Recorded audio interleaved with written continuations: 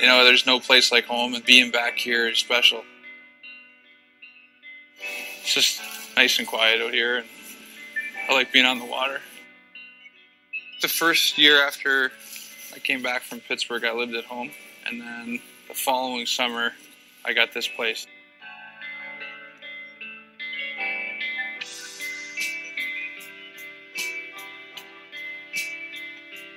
With me, I'm always thinking about the next game, the next practice.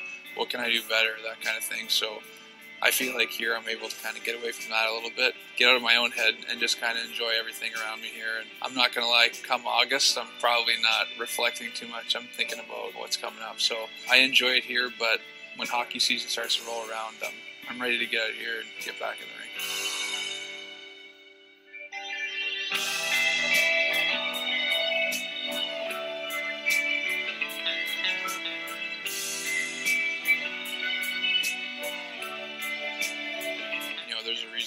Why I love coming back here. It's it's because of my friends. It's because of my family. It's because of you know this place right here. It's just the general feel, and to know that you've had a good couple months here to kind of recharge and enjoy those other things, I think it definitely helps when the season starts to get tough. And come January, February, when it's a little colder and there's a little bit more going on, there's a lot on the line every night with the games and everything that comes with hockey. So it's great just to come back here and recharge a bit.